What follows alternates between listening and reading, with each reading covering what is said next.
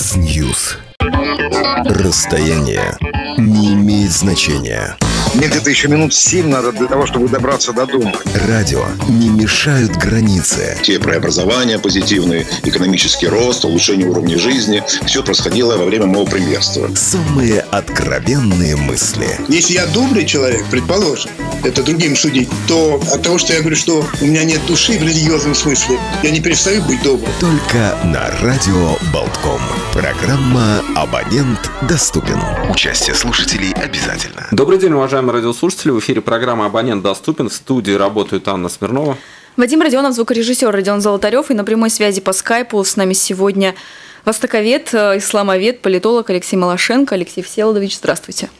Здравствуйте.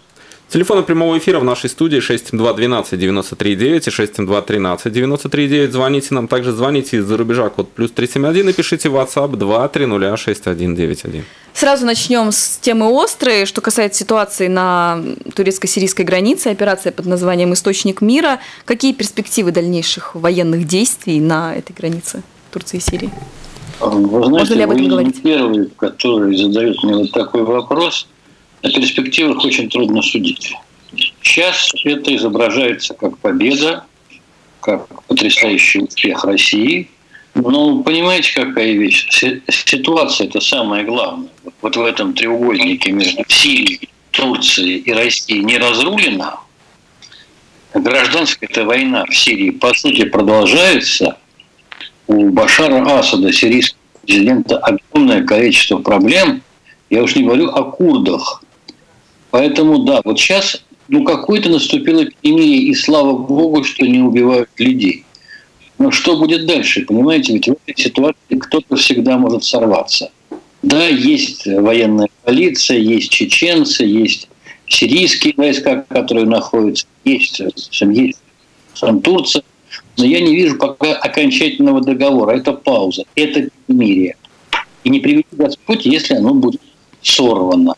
А шансы такие всегда есть. И потом, понимаете, какая вещь? Когда вот у нас сейчас очень много говорят, что это победа России. Простите, а над кем победа? Над Эрдоганом, президентом Турции. Если ему это сказать, то он обидится. Это скорее консенсус, это вынужденный консенсус. Дай бог ему как можно дольше продлиться. Но решать проблему надо. И Сирии, и частности Сирии, и отношение Турции к Башару, и проблему курдов – так что я думаю, что это очень долгоиграющая пластинка. Ну, ситуация выглядит очень запутанной. Я вот выписала себе такие основные тезисы, которые я поняла, но вы мне поправьте, если я не права. США и Турция – это члены НАТО и союзники по коалиции против ИГИЛ и режима Асада. Курды – союзники США в борьбе против ИГИЛ, а Турция воюет против курдов, которые теперь вынуждены обратиться за помощью к э, войскам Асада, против которого выступают США. Насколько это правильная интерпретация ситуации? Абсолютно правильная. Это ситуация сумасшедшего дома. Я с вами полностью согласен. И кроме того, так, если постараться слегка обобщить, идет гражданская война, там, в Сирии, да? И у каждого участника этой гражданской войны, войны свои интересы. Политические, социальные, экономические. Ну хорошо, гражданская война это плохо, но как-то ее можно, может быть, уладить. Но на это накладывается вот та самая многополярность, про которую сейчас так все любят говорить. А полисов там целая куча та же э, Турция, та же Россия, та же Америка, тот же Иран, сейчас еще к этому добавляют Саудовскую Аравию. Ну как в этом можно разобраться? Но есть какой-то ключик один, золотой ключик, как у Буратино, или ниточка, за которой ты потянешь, и все станет ясно. Нет. Я пока не вижу, чтобы эта ниточка где-то такое появилось. Это нормально, понимаете? Я не хочу тут никого не обвинять. Но у всех участников внешних, как минимум, свои национальные интересы, и они не только как бы ну, как бы они гармонируют, а скорее наоборот. Поэтому ну, как бы будет. Насколько справедлива простая трактовка, которую приходится слышать э, по отношению к России, которая, опять же, если верить э, официальным заявлениям, победила в Сирии ИГИЛ и, в общем-то, выполнила свою задачу в этом смысле?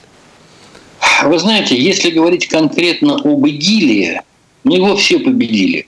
Ну, потом, ну, ну, ну, сами посмотрите, ну что такое ИГИЛ на фоне одной коалиции, второй коалиции, даже третья была коалиция. чисто арабская, но, но она не состоялась. Потом Россия – это ВКС, это танки, это профессионально подготовленные к этому люди. Это ИГИЛ. Ну, его победили, но, э, скажем, победили ИГИЛ. Но игиловцы остались. И очень хорошо себя чувствуют. И в Сирии, и на Ближнем Востоке, и в Ливии, и в Африке, и в Сомали, и в Афганистане. Поэтому победили конкретную, скажем, контору, конкретный феномен. Вот сама идея исламского государства – это на весь 21 век. Это будет появляться регулярно. Поэтому, да, давайте праздновать победу над ИГИЛом, но думать, что на этом все кончилось, никогда. Потому что сама идея исламской альтернативы и исламского государства ну давайте жить не по западному, не по восточному, а по исламски. Может быть, так будет лучше. Это на века. И это мы еще неоднократно увидим. Но сегодня...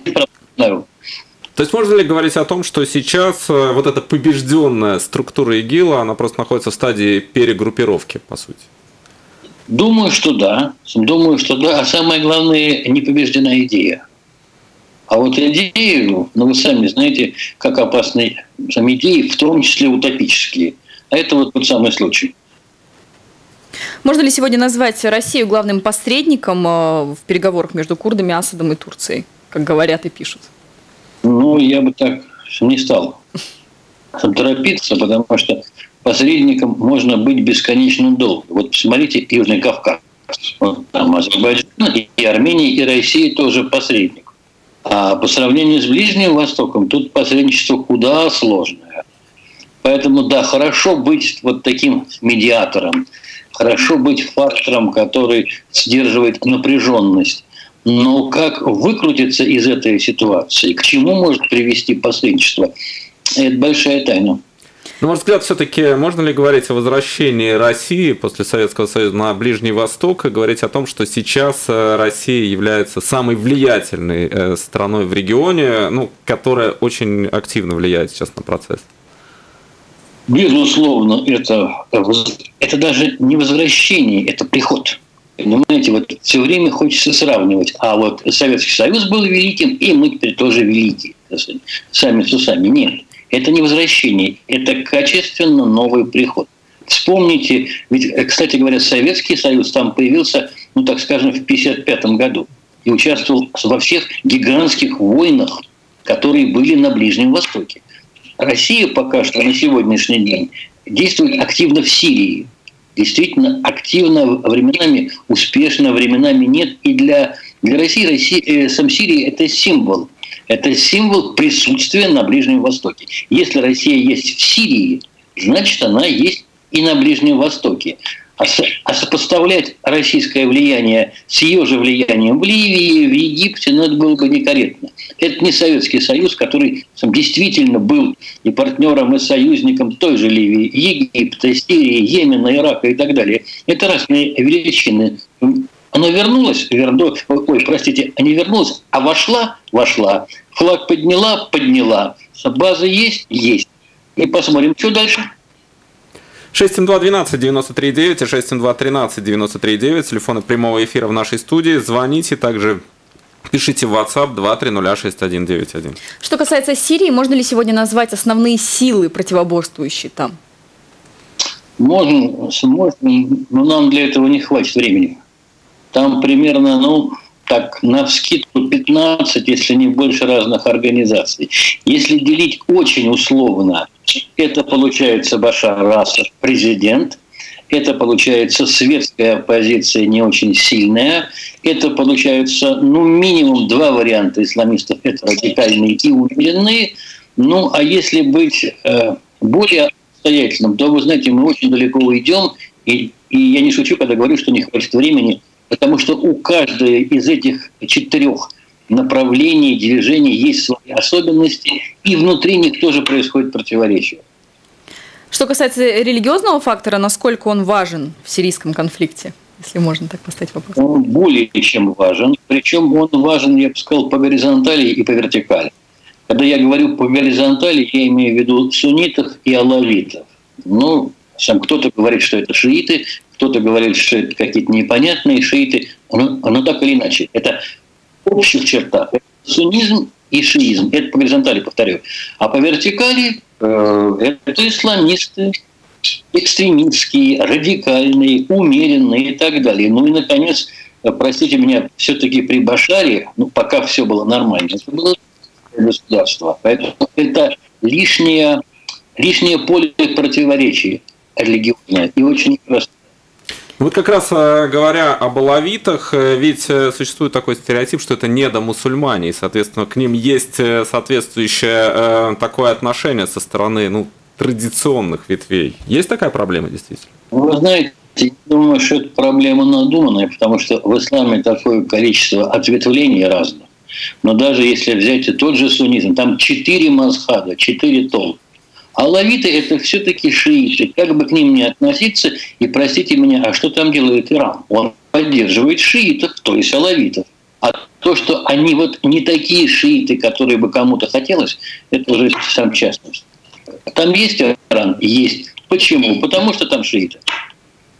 Почему э, шииты и сунниты не могут договориться? Почему это настолько серьезный конфликт вызывает их трактовка? Очень хороший вопрос. Это началось, простите меня, в седьмом веке.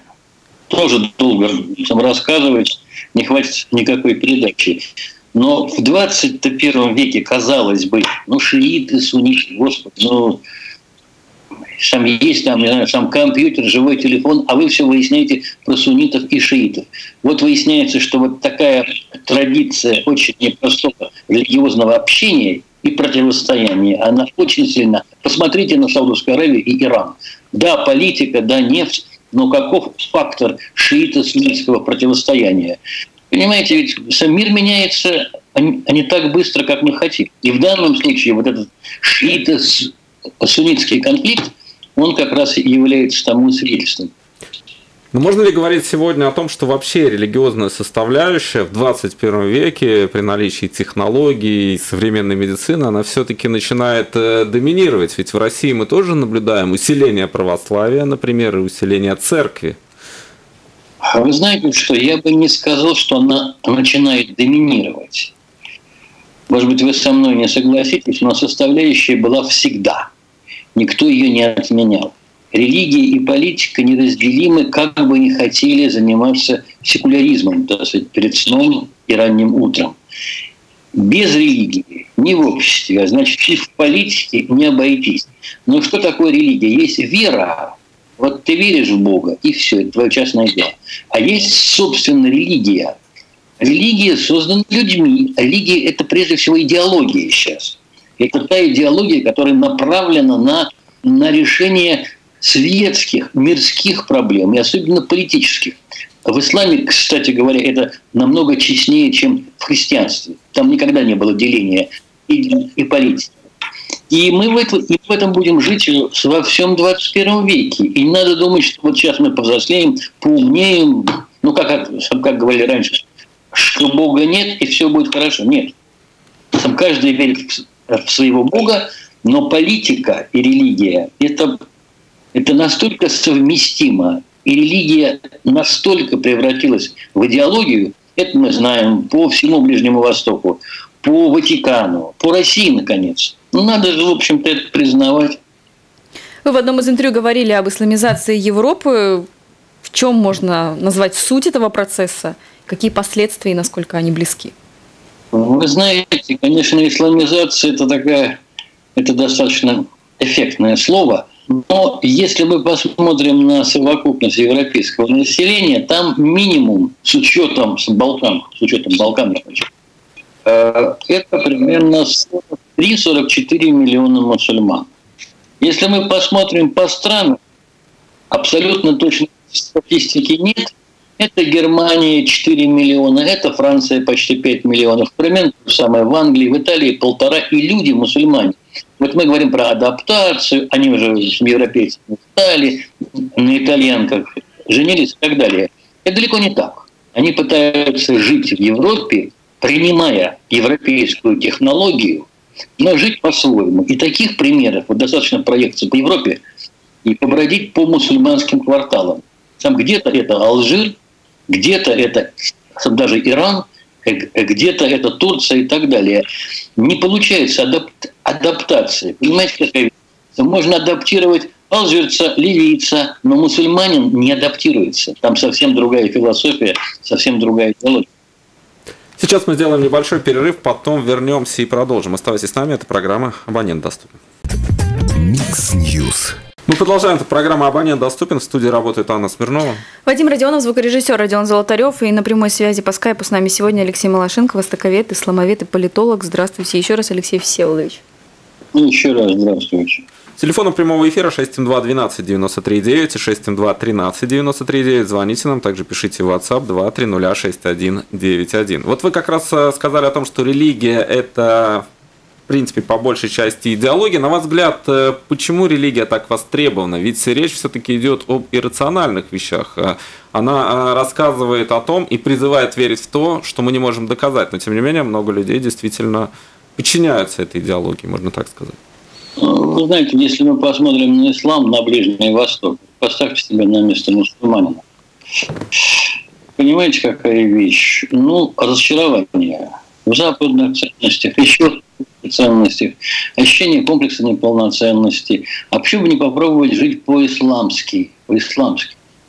Поскольку, поскольку, как вот я уже только что говорил, что ислам это, это все, это образ жизни. Это и политика, и экономика, и общественные отношения, и социальная справедливость. Вот и давайте. И тем более, что это, простите меня, говорят, исламская. Это нет как вот там Карла Маркса, не приведи Господь, или от Ленина. Это от Аллаха, это от пророка Мухаммада. А уж там-то люди не ошибаются, правильно? Поэтому вот давайте попробуем. Я вам заранее могу сказать, что это утопия. Но в эту утопию люди верят, и их надо за это уважать. А если мы посмотрим дальше – скажем, на Европу, на, скорее, Западную Европу, так сказать, там, ну, где есть мусульмане, э, они как бы благодаря вот этому исламско-миграционному импульсу вдруг почувствовали, а нам что-то угрожает. А вот вы посмотрите, как мусульмане отстаивают себя. Почему нам не обратиться тоже к религии? А христианство – это что по-вашему? Это великая религия. И почему мы должны выслушивать и приспосабливаться к каким-то мусульманам, которые к нам приехали? Отсюда, между прочим, один из факторов роста влияния вот этих э, радикалов, популистов, и правых, и левых. Это мы э, не можем сбрасывать это со счетов. А посмотрите на Россию. Полная политизация, полная поддержка власти. Это, знаете, я бы так сказал, что с одной стороны, православие все больше и больше становится инструментом власти, но и само оно обретает власть и, и популярность. Все очень непросто, очень непросто, но так или иначе нам с этим жить. Но взгляд все-таки, если говорить о России сегодня, потому что есть такое мнение, что отношение к Владимиру Путину, оно такое сакральное, почти религиозное, потому что, когда говорят о коррупции, подразумевают чиновников, э, даже чиновников высокого уровня, но никогда практически, если говорим о массовом сегменте, э, ну, Владимир Путин как бы над ними. Вот э, это тоже некий такой э, последствие религиозного восприятия, все-таки, когда человека наделяют чем-то божественным. Ничего общего. Вы знаете, это российская политическая культура, которую мы помним еще, с, не знаю, с Ивана Третьего, и которой повторяла вся русская классическая литература. Попросту говоря, хороший царь, плохие бояре. На этом уровне и остались. Вот и все. Это политическая культура, это очень важно. Она так мало меняется, что, простите, нам от этого никуда не деться. Но первый после Бога, как говорили про капитанов подводных лодок, нет восприятия ну, к президенту и царю? А потом, понимаете, какая вещь? Ну, если, да, у нас плохое правительство, там, мы, это плохо, то плохо, но хоть президент у нас хороший, иначе мы-то кто сами? А в него мы верим. Ну, это все очень просто. Ну, Путин, раз уж мы о нем заговорили, встречался недавно с э, Эрдоганом. Насколько это может повлиять как раз на урегулирование э, турецко-курдского конфликта? Мороженое ели. А вы все о том же. А вы все сам... Мы уже к религии перешли, а вы все о том же. Ну, Путину мы вернулись, Вы поэтому... знаете, я считаю так, что у Путина очень... Ну, вообще у России очень непростое положение, потому что все время сам крутится в этом треугольнике, сам Россия, Турция и, и, и, и курды – а тут еще и персы, огромный фактор, выбрать Путин не может. Выбрать Кремль не может, потому что это невозможно. Поэтому все время компромисс, все время посредничество, а все время уговоры. Это очень тяжелая и очень трудная работа. Где-то она получается, где-то нет. Но выхода из этого я пока не вижу. Вот так и надо метаться то туда, то сюда. 67212 939 и 67213 939. Телефоны прямого эфира в нашей студии. Звоните, задавайте свои вопросы, пишите в WhatsApp 230 6191. Да, что касается Трампа, администрация Трампа наложила экономические санкции на Турцию из-за нападения на курдов. Вот э, что касается американской роли в этой военной операции, насколько она велика? Я бы ее не преувеличил. Вы понимаете, какая вещь? Для Америки и лично для Трампа вся эта сирийская афера, она не принесет ему ничего хорошего. Кстати говоря, большая часть американского общественного мнения, она против того, чтобы там американцы оставались. Да непонятно, там они не то остаются, не то они уходят. Но вообще мусульманский мир – это тот мир, где у американцев получить большие дивиденды не получается. Впрочем, так же, как у нас, вот посмотрим, чего будет в Сирии дальше. Поэтому, если исходить из какой-то нормальной логики, да даже из трамповской логики, ну, надо уйти, пусть Россия разбирается с этими курдами, турками, Башаром и всем прочим. Это хороший ход, но это где-то еще для какой-то для каких-то американских политиков, ну как же так, получается, что мы проиграли. Да не проиграли они, сам я считаю. Ну, ну, с этого ничего нельзя, простите, не поиметь никакого цимиса, я бы так сказал. Ну, и пусть Россия занимается. Это, в общем-то, такой подход достаточно, достаточно, я бы сказал, сам цинично логический. У нас звонок, радиослушатель на линии. Здравствуйте, как вас зовут? Добрый день. Да, Лариса. А вот я хотела спросить, сейчас в России строят очень, вернее, решили строить во многих больших городах мечети. А как вы думаете, не начнется после этого нападение на мечети? Тем более, если они будут их строить на месте каких-то парков или еще что-то такое. Есть такая возможность, есть или нет? Спасибо. Да. По поводу возможности я не знаю. Но вот очень хороший вопрос в том плане, что действительно строительство мечетей по России, это вызывает отторжение у населения. Это однозначно даже в Москве. Ну, представьте, у нас по разным данным в Москве от полутора до четырех миллионов мусульман. Я думаю, что около двух. Ну, разные говорят. Но, тем не менее, представьте, четыре, ну, максимум пять мечетей на всю Москву на два миллиона человек. Это что? Как к этому относиться? А то, что препятствовали строительству мечетей – я могу привести очень много примеров, просто у нас нет времени. Ну, например, кажется, во Владивостоке проблема была в том, что мечеть по, э, по расположению на местности оказалась выше церкви. И прикрыли это строительство. Все очень непросто. Вот, вот вы правильный вопрос сам задаете. Я не думаю, чтобы их там жгли, взрывали и так далее. Но это не самое это не самая простая проблема. Но у людей есть склонность э, невольно, может быть, или умышленно ассоциировать ислам и терроризм напрямую. Насколько вот распространена эта проблема?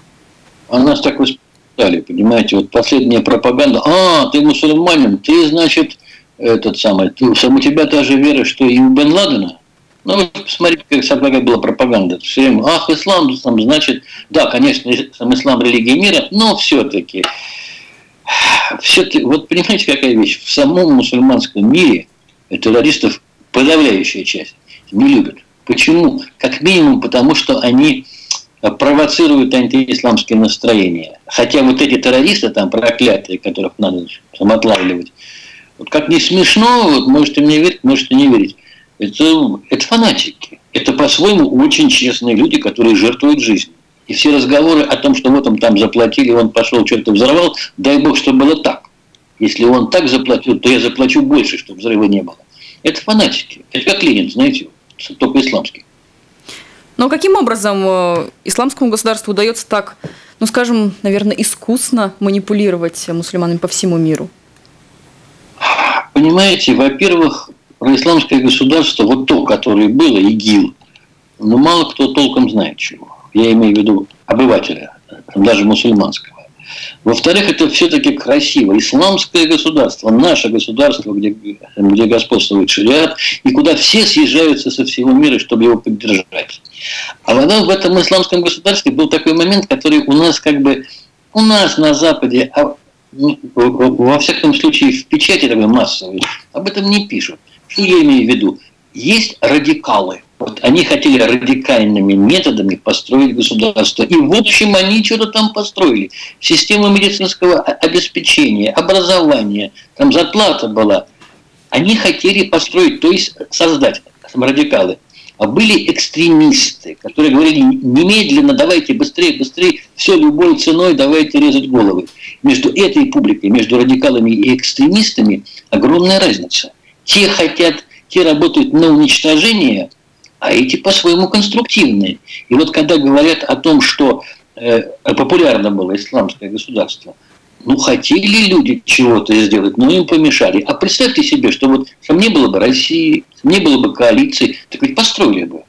И они бы сами потом, вот эти вот сам радикалы, которых все проклинают, они бы боролись против экстремизма, потому что экстремизм никому не нужен. Вот в чем проблема. Там я бы сказал, что все поинтереснее. Вот посмотрим, какой будет другой вариант этого исламского государства. Ну, там, где это будет, там Ливия, Сомали, не знаю где. Но где-то будет. Вот посмотрим, как они научились почему-то и не будут вот такими методами пользоваться. Ну, вот есть э, версия, что исламское государство было создано на основе разбомбленных офицерских составов Саддама Хусейна, партии БАС в частности. Вот насколько это соответствует действительности? А там там были все. Это, это совершенно нормально. В это государство шли, вот в эту, в эту систему, люди разочарованные по всему миру, но, но надеющиеся на то, что ислам их последний шанс. Вот в этом виде. Кого там только не было. Там, простите, по некоторым данным, там рекордное количество было из России. 4,5 тысяч. А вообще по, по постсоветскому пространству было больше 8 приехало тысяч. Это, это только боевиков, которые поехали сражаться. Но ведь кто-то их поддерживал здесь, кто-то давал деньги, чтобы они доехали, где-то они жили, вот и посчитайте.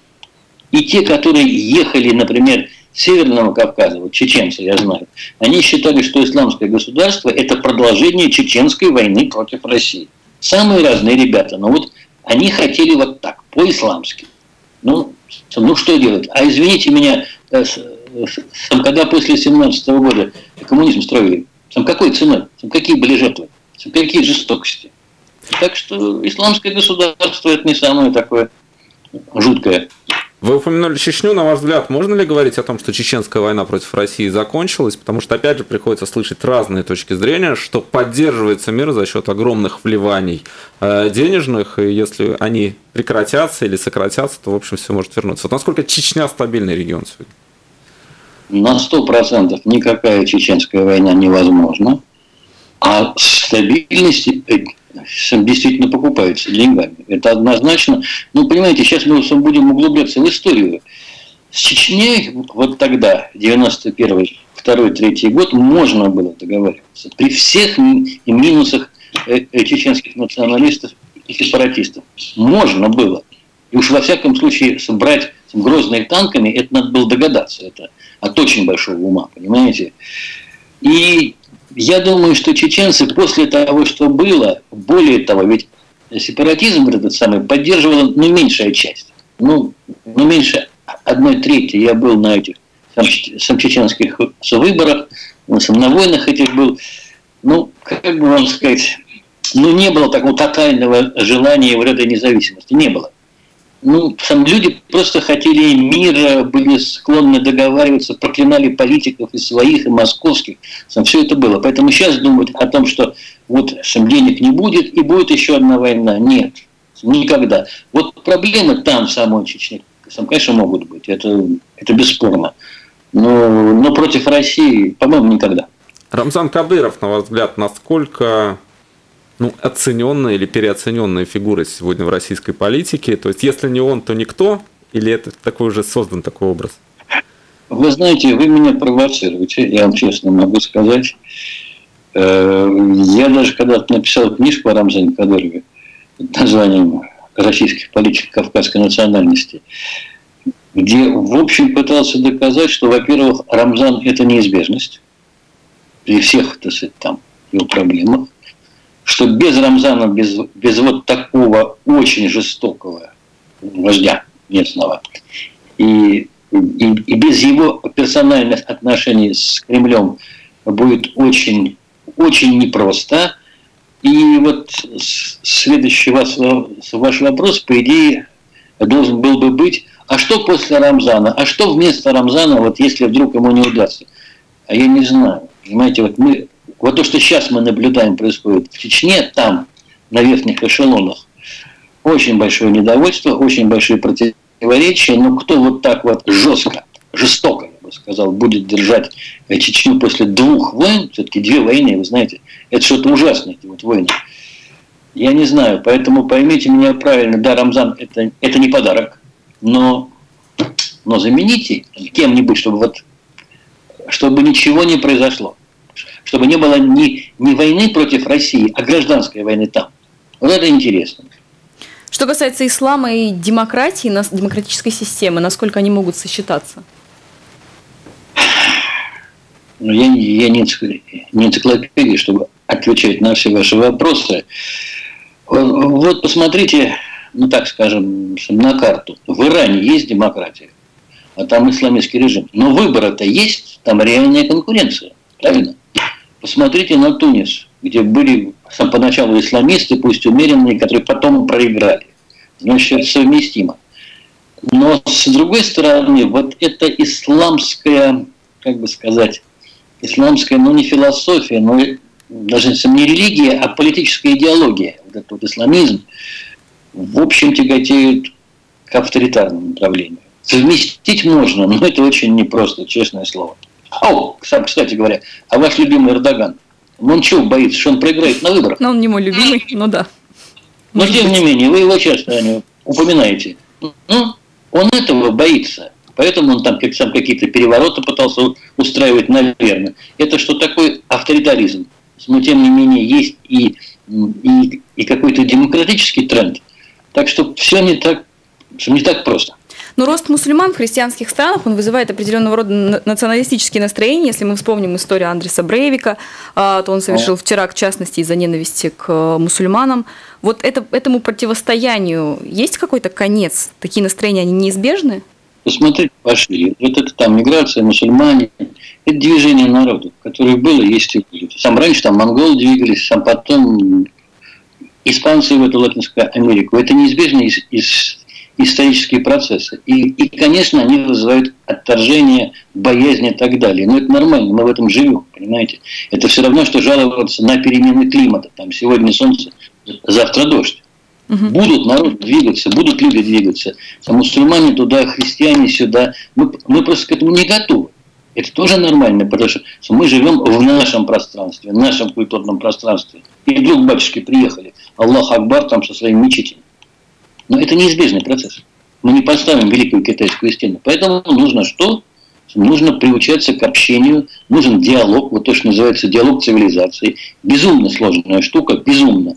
Но мы без него никуда не денемся, иначе будем резать друг друга. На ваш взгляд, все-таки опыт э, западных стран, которые, как это подавалось, экспортировали демократию в Ирак, Афганистан, а он чему-то нас научил? Кого вас? Ну, я имею в виду сейчас в первую очередь научное сообщество и политиков. Вы знаете, что это, во-первых, неоднозначный процесс. Он меняется. То больше, то меньше, то, то вправо, то влево. В принципе, практика показывает, что там, где, скажем, вот эти вот э, мусульманские страны, мусульманские общества испытали на себе влияние европейцев, там э, более мягкие режимы, там вот есть какая-то демократия, пусть формальная, неформальная, там есть выборы. Если мы будем сравнивать с Центральной Азией, там не было этого влияния, там был родной Советский Союз. И за исключением Киргизии, сейчас там очень такие, я бы сказал, хорошие, прочные, ну не прочные, может быть, но, в общем, такие, знаете, там жесткие авторитарные режимы. Они могут двигать экономику, они могут проводить реформы. Посмотрите, как тяжело все происходит в Центральной Азии. Но и, но и вот опять же ислам и демократия, вот сам какой парадокс. Если это действительно демократия, то это, э, то это, это допущение политического ислама. А политический ислам, он очень силен, он может прийти к власти повсюду. что мы видели и в Египте, и в Тунисе, и так далее. И, кстати говоря, а кто такой Эрдоган? Это, это умеренный исламист. И не надо этого стесняться. Потому он сам прекрасно это знает. У него блестящее исламское образование. Он в этом сам хорошо ориентируется. И я помню, лет пять или шесть тому назад я, я был в Анкаре, и один э, сам политик, так сказать, сам турецкий, сам достаточно известный, он бросил очень любопытную фразу в приватной беседе. Вы еще дождетесь турецкого Хумейни. А почему бы нет? Там, там демократия.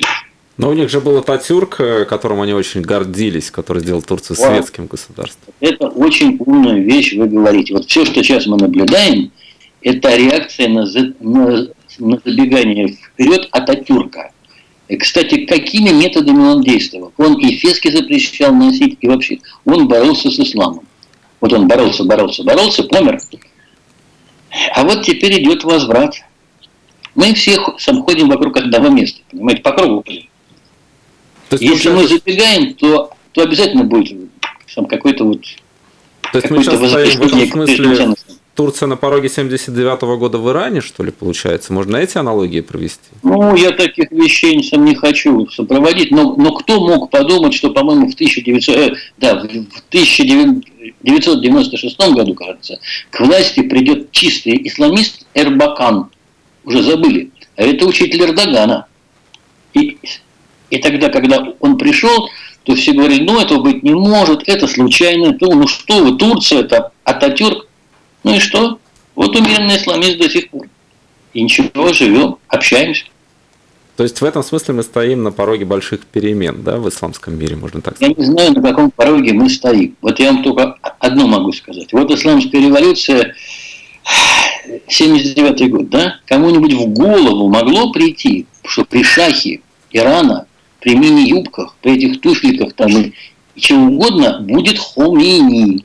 Это будет настоящее исламское государство. Кто-нибудь мог предвидеть, что Хамас, националисты, палестинцы, будет такое мощнейшее религиозное крыло? Кто мог предположить Бен Ладена? Кто мог предположить, что брат мусульманин будет президентом Египта? Кто мог предложить исламское государство, предположить? Вот это вот сейчас. И все остальное. Исламский мир, он по-своему непредсказуем, но то, что религиозный фактор будет усиливается, это точно. Как? Поживем увидим. Ну что ж. Да, спасибо, что вы нашли время и вышли в прямой эфир программы «Абонент доступен». Исламовед и политолог Алексей Малашенко был гостем программы. Спасибо вам, всего доброго и до свидания. Вам спасибо за внимание.